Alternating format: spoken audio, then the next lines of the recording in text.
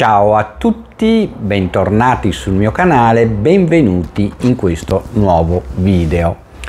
Allora, oggi parliamo di NDE, ma invece di parlare di un singolo caso, vediamo eh, le conclusioni eh, quasi definitive dello studio fatto dal dottor Pim Vallomel, eh, un cardiologo rianimatore eh, olandese, fra le altre cose, uno dei punti di riferimento della cardiologia europea, quindi non l'ultimo arrivato sulla piazza, come si direbbe in inglese un PhD di quelli, un PhD per dirla in italiano, di quelli eh, di altissimo grado. Poi verrà quello che mi dirà che non lo pronuncio bene, ma io parlare la lingua della perfida Albione faccio assai fatica.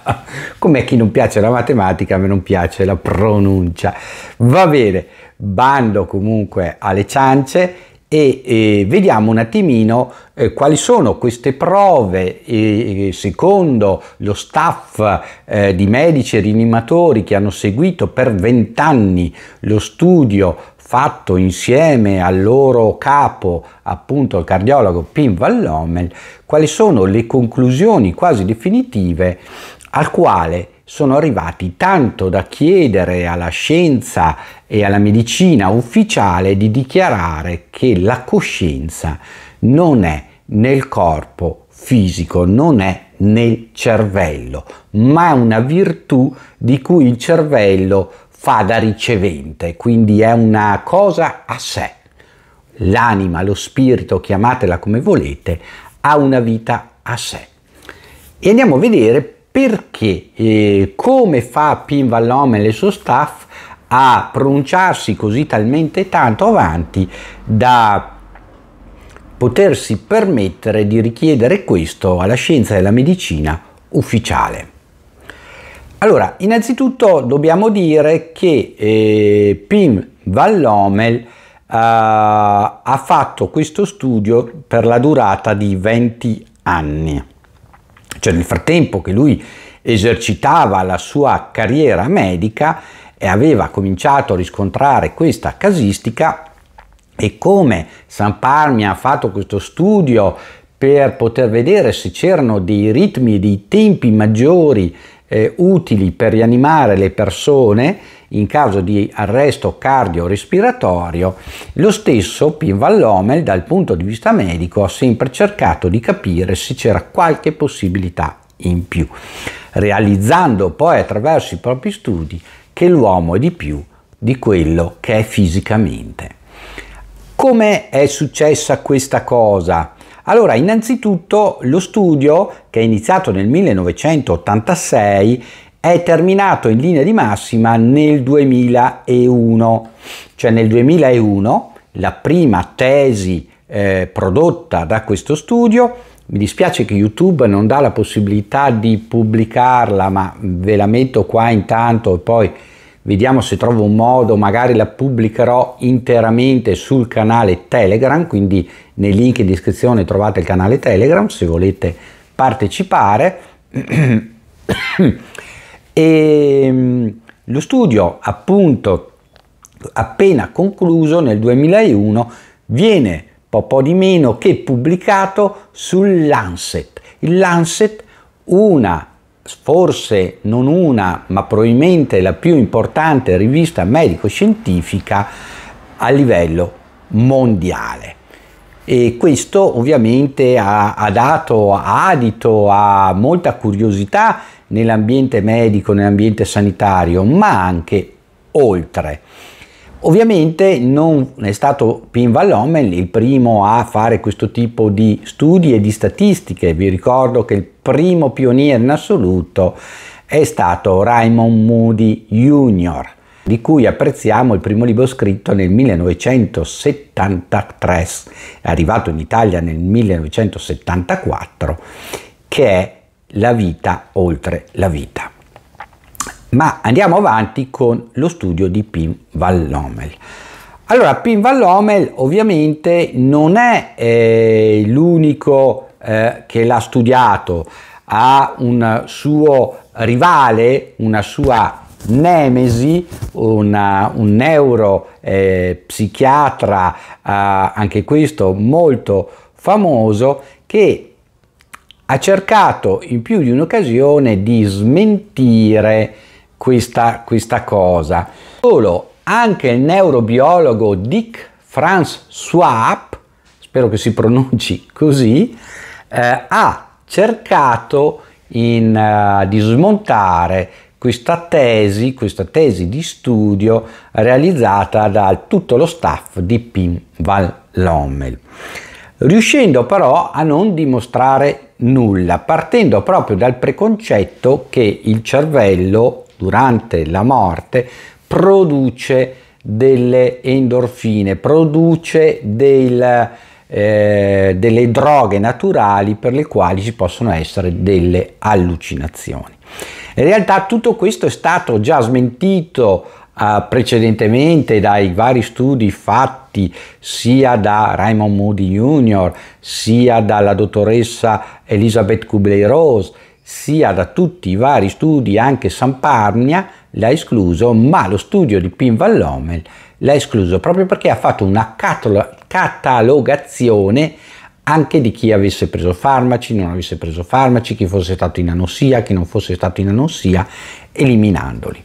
Ma la prova principe che ci porta Pim Van Lommel a dimostrazione che la coscienza, cioè quella che eh, i neurologi come appunto il suddetto eh, neurologo ritengono un prodotto chimico del nostro cervello, quindi i nostri neuroni attraverso eh, gli scambi elettrici, gli scambi biochimici producono i ricordi, producono la memoria.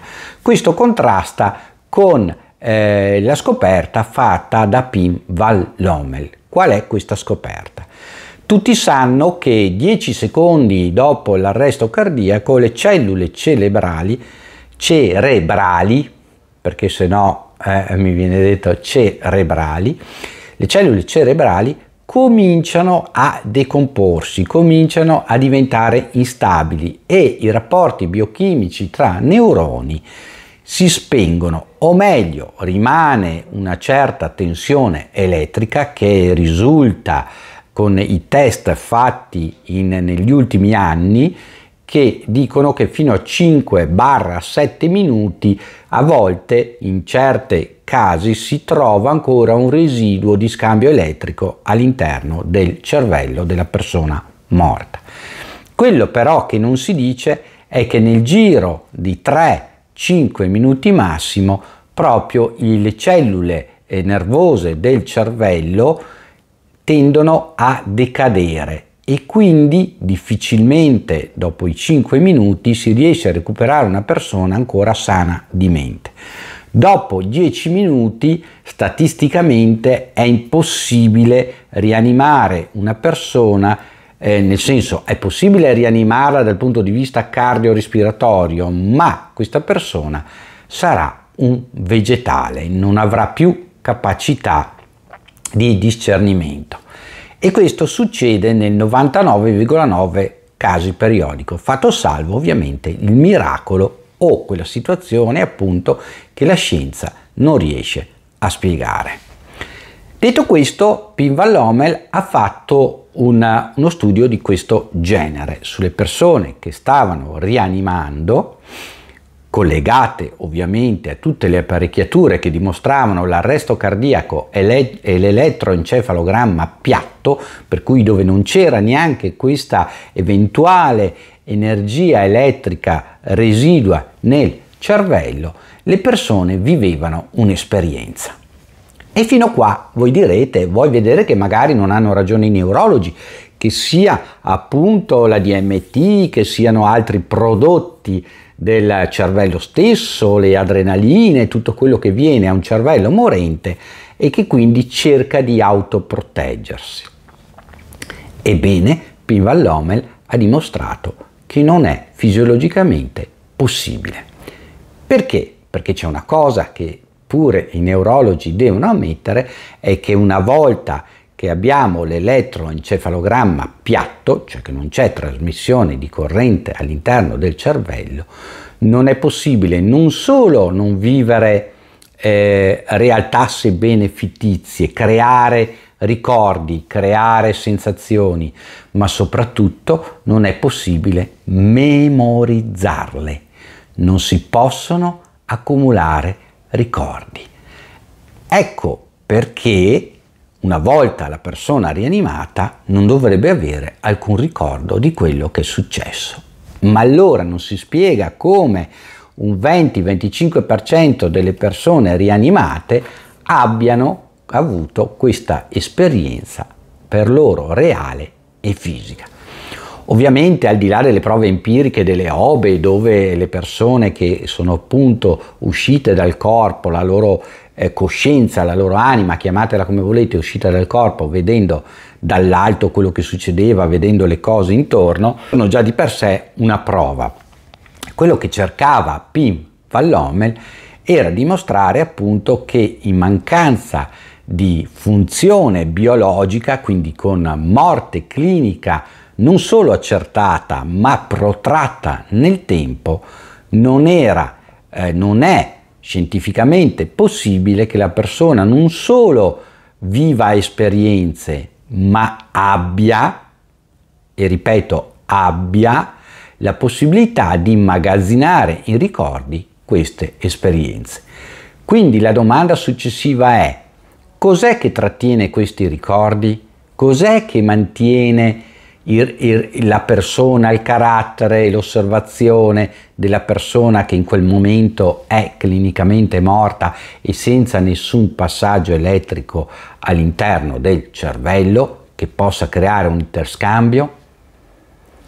Questa è la domanda che si è posta l'equipe di Pim Vallomel e ovviamente il seguito a questa domanda è chiedere alla scienza e alla medicina ufficiale che si studi e si cerchi di capire dove fosse realmente la coscienza umana.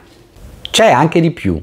Pim Van ha fatto poi, ovviamente dopo eh, lo studio del 2001 che pubblicherò appunto sia qua delle immagini ma sul canale Telegram, ha sviluppato ulteriori studi, nel senso che ha continuato nello sgrossamento dei dati clinici appunto per eh, affrontare, confrontarsi con altri medici, altri specialisti, cercare di capire cosa realmente succede eh, fisiologicamente, perché ovviamente di quello che succede poi trascendentemente, cioè nella parte spirituale dell'essere umano, non abbiamo ancora possibilità tecniche di vedere e di studiare e eh, confrontandosi appunto con altri ben quattro studi.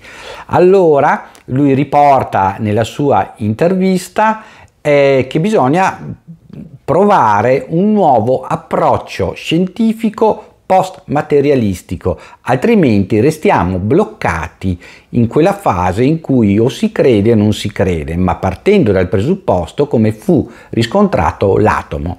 L'atomo, la particella che si chiama atomo proprio perché la particella indivisibile, fu scoperta non già da scienziati, non già da, eh, da dire, studiosi col microscopio, ma dagli antichi filosofi greci che lo teorizzarono. Pensate un po'. La stessa cosa perché non avevano gli strumenti scientifici. Mm? Solo poi negli anni 40, nel 1940-43, è stato scoperto che l'atomo era possibile suddividerlo ancora in neuroni, protoni eh, e, e, positroni. Eh, scusatemi, in elettroni, protoni e positroni, no, i neuroni, quelli sono qua come il mio neurone che è uno solo. Allora, quattro studi longitudinali progettati in modo identico, sia ossia come lo studio olandese di Pim van Lommel, col quale Pim van Lommel si è poi coordinato con il solo corredo di analisi statistica, uno statunitense e due inglesi hanno riscontrato quasi la stessa percentuale di NDE su un totale di 562 pazienti esaminati sopravvissuti, quindi rianimati, dopo arresto cardiaco. E tutti gli autori hanno concluso, e vi cito testualmente, che nessun modello fisiologico o psicologico può da solo spiegare tutti gli elementi che queste NDE hanno in comune. Se ci basiamo sugli studi longitudinali sulle NDE e le recenti scoperte della ricerca neurofisiologica, oltre che sui concetti della fisica quantistica, la nostra coscienza non può essere localizzata in un dato tempo o spazio e questo è esattamente ciò che descrivono i pazienti raccontando le loro esperienze di NDE. Tutto ciò che riguarda il passato e il futuro è istantaneamente disponibile ed è per questo che si parla di coscienza non locale, al di là del tempo e dello spazio. E questa è la richiesta fatta dall'equipe del dottor Pim Vellomel alla medicina e alla scienza ufficiale. Aspetto i vostri commenti qua sotto eh, il video, ditemi un po' se non vi sembra meravigliosa questa, questa conclusione scientifica fra le altre cose che ovviamente darà adito a sconcerti, a battaglie eccetera, ma che ci apre un nuovo modo di vedere anche dal punto di vista scientifico queste esperienze di NDE. Vi chiedo gentilmente di darmi una mano, iscrivetevi al canale, che solo il 20% di voi che mi seguite è iscritto, mettete like, condividete il video sui vostri social, venite a trovarmi anche sul secondo canale Il Pirata, dove a volte approfondiamo, chiacchieriamo, un canale un po' più amichevole e dove mi conoscerete meglio. Chi ha piacere può iscriversi anche al canale Telegram, dove in chat ogni tanto ci si confronta, ci si ritrova e ci si scambiano idee, pareri e opinioni. A tutti un caro saluto, ciao da Ermanno.